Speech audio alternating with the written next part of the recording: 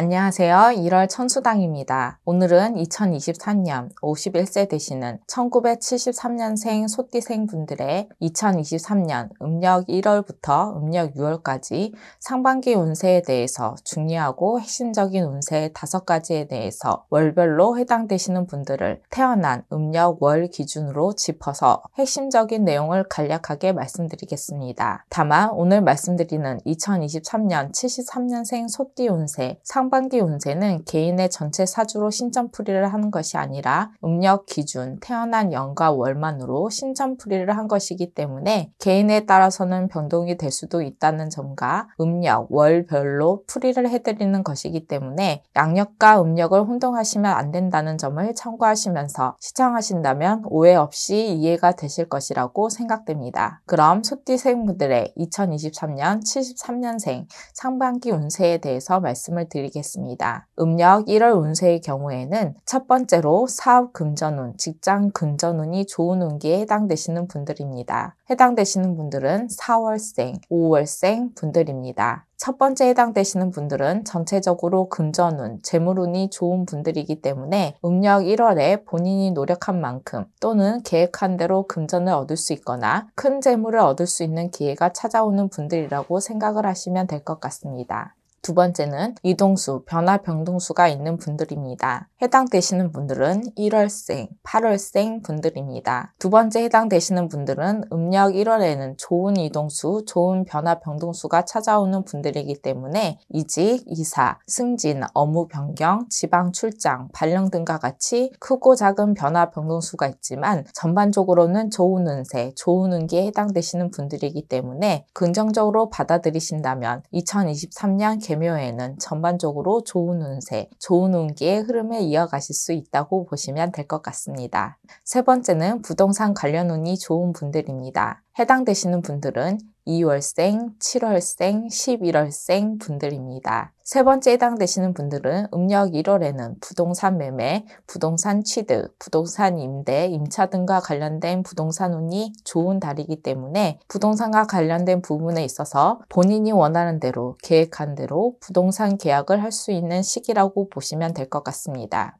네 번째는 새로운 기회, 기사 회생의 운이 있는 분들입니다. 해당되시는 분들은 2월생, 6월생 분들입니다. 네 번째 해당되시는 분들은 음력 1월에는 창업, 취업 또는 사업, 직장과 관련된 계약 등의 새로운 기회와 기사회생의 기회가 있는 달이기 때문에 음력 1월에 이러한 기회를 반드시 잡아보시길 바라겠습니다. 다섯 번째는 금전귀인운, 금전횡재운이 있는 분들입니다. 해당되시는 분들은 4월생, 12월생 분들입니다. 다섯 번째 해당되시는 분들은 말씀드린 대로 음력 1월에는 금전기인, 금전횡재운이 있는 시기이기 때문에 혼자 힘으로 해결하기 힘든 금전 문제를 기인을 통해서 해결을 하게 되거나 생각지도 못한 곳에서 돈이 들어오거나 또는 많은 분들께서 생각하시는 로또, 복권 등의 횡재운도 있는 달이라고 보시면 될 것 같습니다. 그럼 음력 2월 운세부터는 부연 설명 없이 1월과 마찬가지로 다섯 가지 중요 운세에 대해서 목차만을 말씀드리고 목차에 해당되시는 분들을 태어난 음력 월 기준으로 짚어서 말씀을 드리겠습니다. 음력 2월 운세의 경우에는 첫 번째 사업 금전운, 직장 금전운이 좋은 운기에 해당되시는 분들은 3월생, 7월생, 12월생 분들입니다.